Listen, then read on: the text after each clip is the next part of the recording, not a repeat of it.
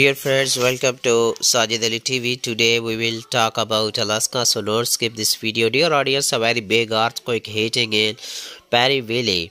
Uh, the quick struck at January 10, 2023 at 7:42 p.m. local time. The location of the earthquake is 125 miles southeast of Perryville, Alaska.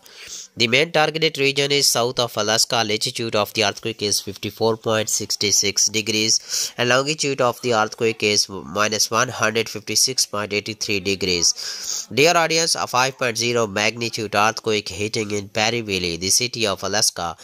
But some local NGO were saying that magnitude is 7.3. But when viewers look at the statistic and the facts, the report of the US Geological Survey is 5.0 magnitude is absolutely correct.